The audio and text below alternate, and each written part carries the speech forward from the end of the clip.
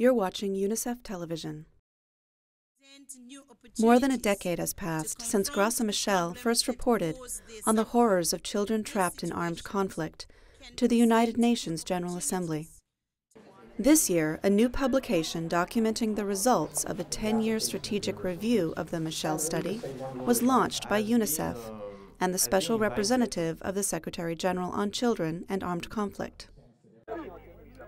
The nature of global conflicts has changed over the years, and increasingly children are targeted.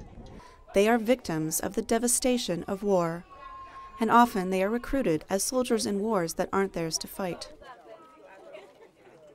They are not only caught in the crossfire, they are often the intended targets of violence, abuse, and exploitation. Over the past decade, children have been the victims of attacks on schools and hospitals, and they continued to be killed or maimed by landmines and other explosive devices. In conflict zones, their vulnerability is often increased because violence claims their first line of defense that is, their parents. The Machel Study 10 year strategic review, Children and Conflict in a Changing World, calls on governments, UN agencies, and civil society to urgently step up efforts to protect all children affected by conflict. We have new and emerging issues, and we really have to see how we are going to meet them.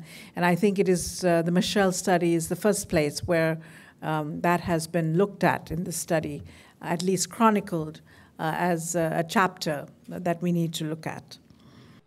With the launch of this new advocacy tool, children who are at risk of losing their childhoods to war need not also lose their futures.